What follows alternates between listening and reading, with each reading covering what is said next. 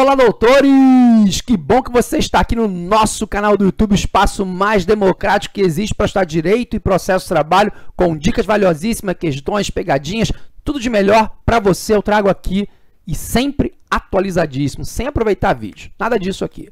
Vamos conversar? Vamos? Se você gostar, dá um like, se inscreve no canal, ativa o sininho e compartilha com seus amigos. Me conta a sua experiência também aqui nos comentários. Fechou? Então hoje é dia de dica, dica de direito do trabalho.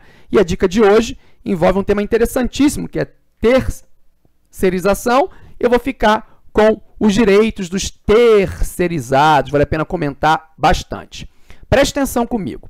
Terceirização Lei 6.019 de 74, que foi alterada em 2017, depois com a reforma. Então, hoje é pegar ela, 6.019 de 74, e dar uma lida, que tem lá a terceirização e também o trabalho temporário, que é uma espécie aí, clássica de terceirização no nosso país.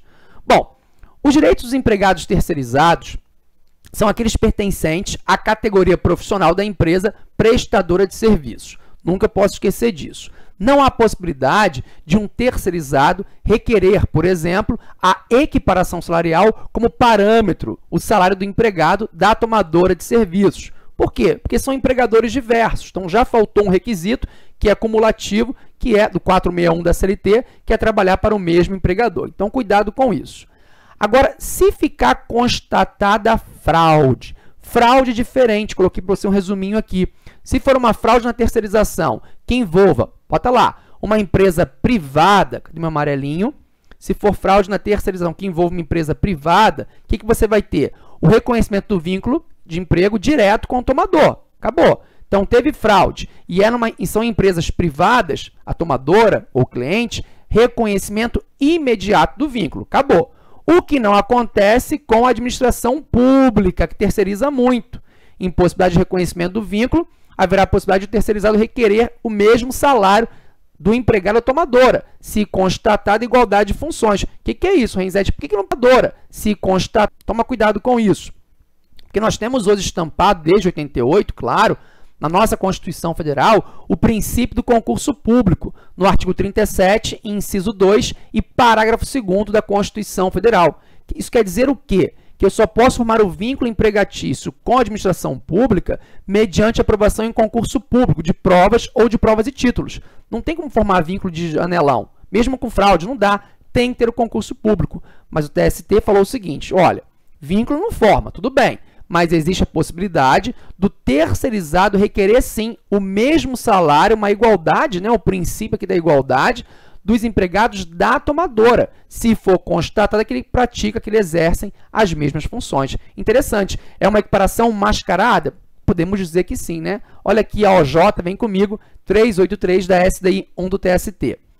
A contratação irregular de trabalhador mediante empresa interposta não gera, não gera vínculo de emprego com o ente da administração pública, não afastando, contudo, pelo princípio da isonomia o direito dos empregados terceirizados às mesmas verbas trabalhistas legais e normativas asseguradas àqueles contratados pelo tomador de serviços, desde que presente igualdade de funções. Olha o requisito clássico aqui.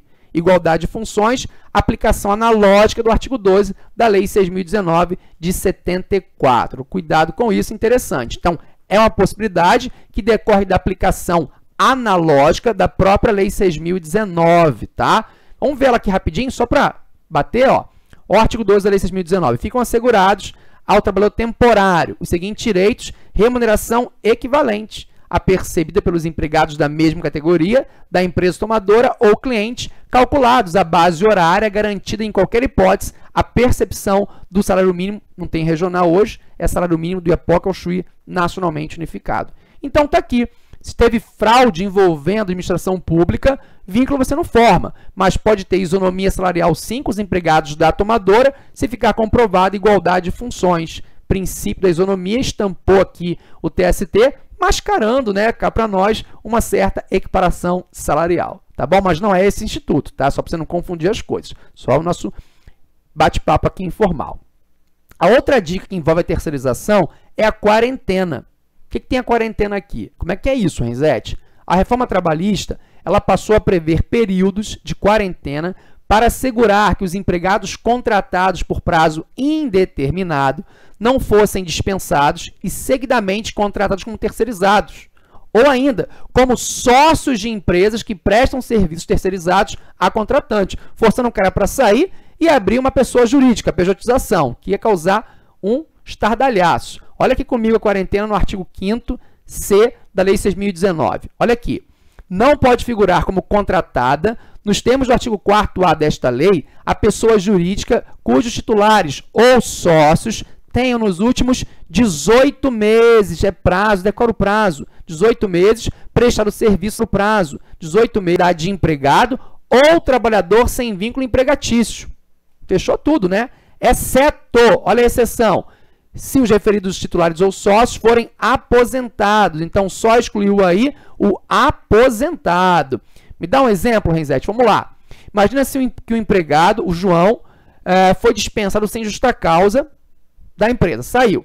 Somente poderá figurar o João como, emprega, como, né, como empresa, né, como sócio da empresa contratada numa terceirização, uma eventual terceirização de serviços, lógico, após o decurso de 18 meses. Então, de novo, se o João saiu, foi dispensado sem justa causa, o João só pode figurar como empresa contratada em eventual terceirização de serviços na empresa contratante após o decurso de 18 meses da data do término do contrato de trabalho. A única exceção do período de quarentena são os trabalhadores aposentados. Esses sim poderão integrar pessoa jurídica de empresa contratada na condição de sócios ou titulares independentemente da observância do prazo de 18 meses. Interessante essa quarentena também aqui, que ela pode vir em prova, viu? Melhor dica, sem dúvida, pegar a Lei 6.019, destrinchar, ler ela, ou então vai no nosso livrinho, tá lá, Direito e Processo Trabalho, tem a leizinha comentada, no detalhe, primeira e segunda fase da OAB, é o 2 em 1, Direito e Processo Trabalho, comigo e com o professor Renato, 23ª edição, pela editora Juspodium. Você precisa muito desse livro, para o exame de ordem. Tenha certeza disso, tá? E claro, aproveita a super dica que eu vou te dar agora, faz a compra na casadinha com a nossa CLT. Esta é completa mesmo, é completaça, 27 edição. Essa aí é o que você precisa, porque tem um índice remissivo fantástico. Índice remissivo que você precisa e muito, e muito para o seu sucesso. Tenha certeza disso. Gostou da dica? Gostou? Dá um like, inscreve no canal, compartilha com seus amigos juntos sempre. Não esquece do nosso podcast CLT em áudio, é o podcast do Renzetti nas principais plataformas digitais, Diesel, Spotify, confere lá CLT em áudio por episódio, fixar muito, muito, muito, muito esses dispositivos. A letra seca da lei vai ser sucesso para garantir 11 pontos na primeira fase, 6 em trabalho e 5 em processo. E caminharmos juntos para a segunda fase rumo à vermelhinha. Ela está chegando esse maior objeto de desejo. Boa sorte com a sua vermelhinha, porque a minha vai ficar aqui, ó, só trazendo positividade para vocês. Valeu, pessoal. Não esquece nunca, trabalho não dá trabalho. Tchau!